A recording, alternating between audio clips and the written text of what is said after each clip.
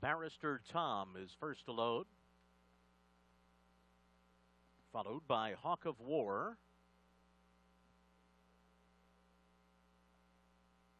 Jimmy Dan going in.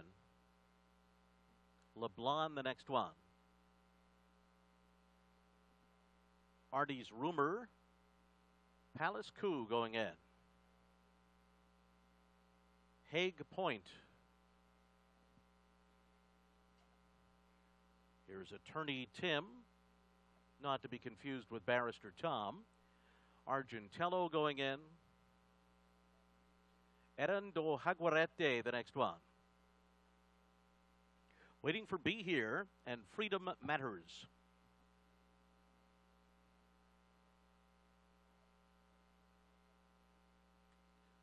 Freedom Matters and Edgard Zayas up to the outside stall. They're all in line.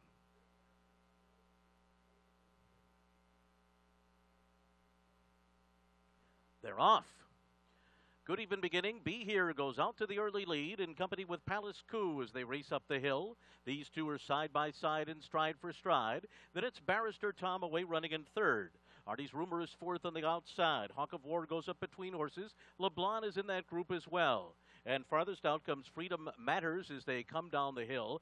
After that, Hague Point, break up another three lengths back to Argentello. After that comes Attorney Tim on the far outside as they race down the hill. So up front, they make their way around that turn, and it is Be Here, the leader. Be Here on top. Joined now on the inside by Palace Coup, and the two of them are right together on the lead. They're nose to nose. Barrister Tom in behind them, running along in third. On the far outside, Freedom Matters moves up a spot, takes third on the extreme outside. Artie's Rumor is right up there, too, along with Hawk of War and LeBlanc in between horses. Break of another two back to Hague Point.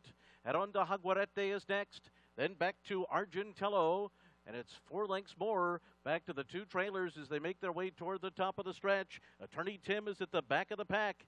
The pace has been hot here, and they're turning for home. And it's the gray Be Here who turns for home in front and comes into the last three sixteenths of a mile with the lead.